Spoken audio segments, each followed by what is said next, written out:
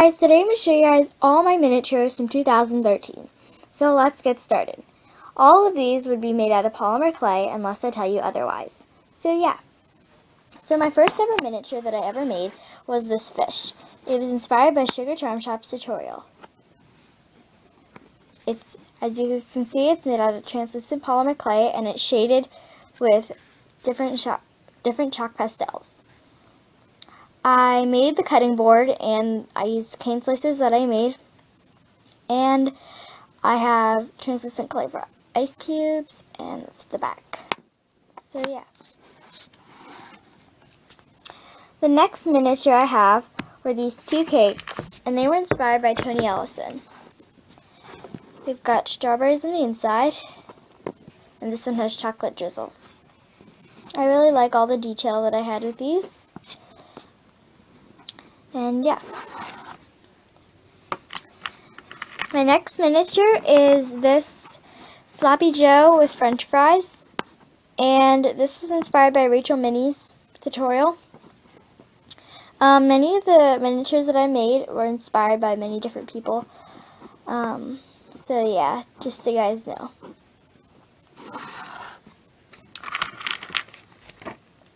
The next miniature I have is this apple pie with a slice, and this is from Sugar Charm Shop's old tutorial on it. She's recently made a revised tutorial on it.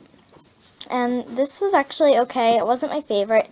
Um, it doesn't have a lot of texture, but it was one of my um, first miniatures, so I am keeping it. The piece just fits in nicely. So. Another miniature that I have that I'm really proud of is this pizza miniature. And this is actually inspired by one of my cook, my mom's cooking book, cookery books. And um, it was Italian, so it had all these different types of pizzas. And mmm, was I hungry then. So it's really got some nice texture and shading, and I added a pepper effect by using black chalk pastels, and I grated it and I'm really happy with this piece. The back isn't textured or shaded, but that's okay for me.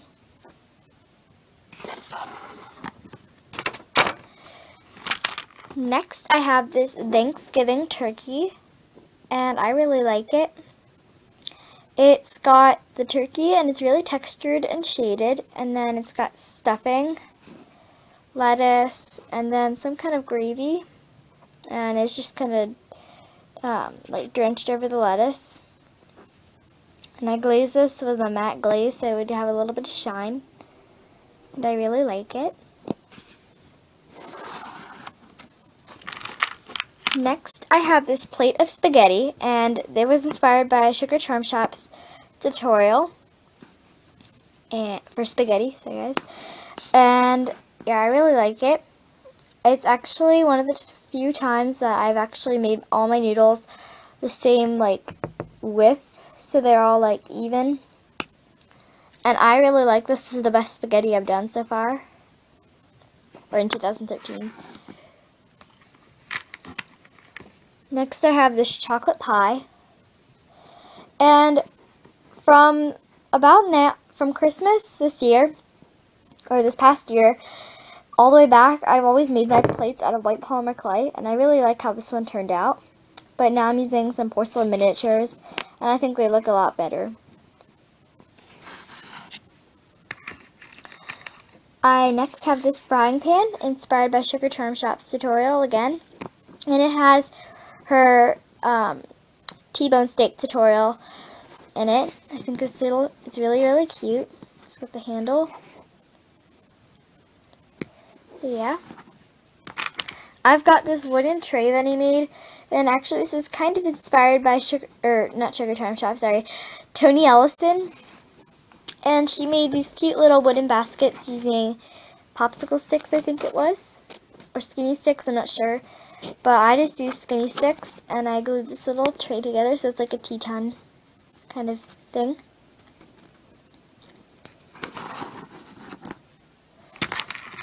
Next, I have this really, really tiny French baguette and I have a lot of shading on it and it looks like a burnt crust and I like that look. It's got like a soft inside looking and this is inspired by Sugar Charm Shop. I next have this croissant, which was inspired by Sugar Charm Shop. And it's like, there's like yellowish, a yellow tinted TLS at the bottom to make it look like it's got butter, melted butter on it.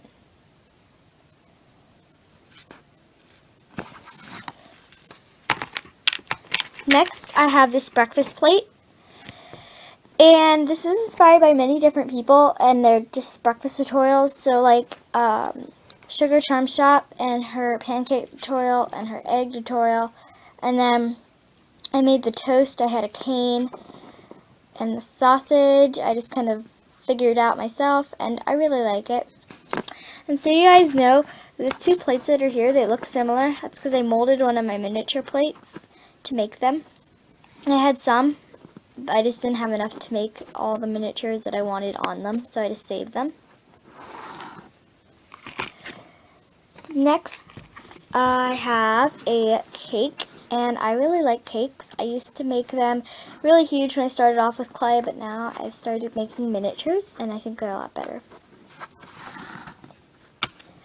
Next I have a chicken Caesar salad. Uh, the plate got kind of bent on this one. It's not as straight as I would like it to be, but it's okay. I still keep all the miniatures that I make since it's not that many. Guess I can't really zoom in. It's not focusing. Well, I think you guys can kind of see it. Next I have this Pop-Tart, and it was like the fifth miniature I might have made. I don't know. Something like that. It was it was one of my earlier ones, but I do like how it came out. And it was inspired by a Sugar Charm shop.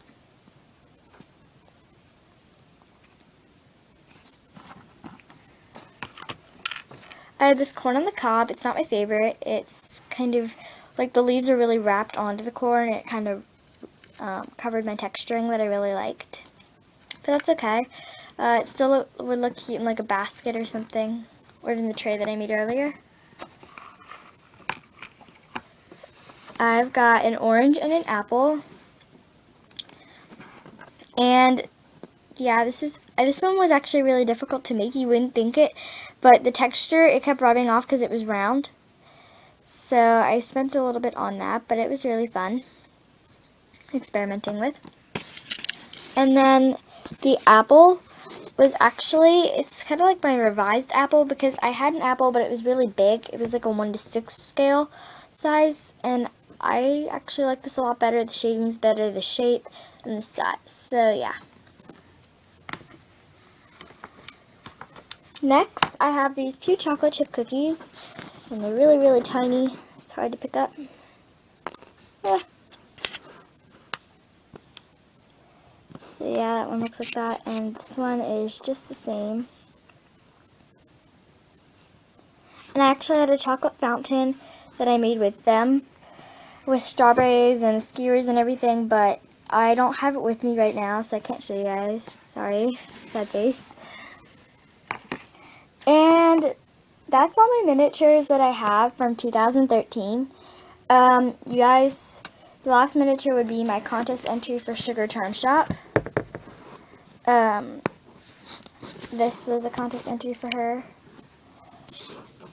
But um, that's a whole bunch of miniatures that I made, like the bread. That's a whole bunch of miniatures that I made. But uh, it's not really one. It's it's not. I don't even know if it's technically a miniature because I can't really set this on the table easily. But it looks really cute, and you know, it would look, look good in themes and stuff. So I'm just happy with it. And I am happy with all of my miniatures.